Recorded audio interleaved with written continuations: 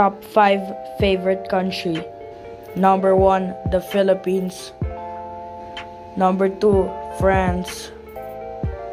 Number 3, Italy. Number 4, United States. Number 5, Japan.